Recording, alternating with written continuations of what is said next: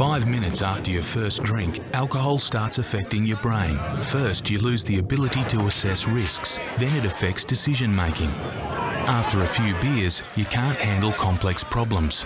You can still change gear and steer, but what's missing are those higher skills that handle things like emergencies. But if something goes wrong, you're gone. Authorised by the State Government, Perth.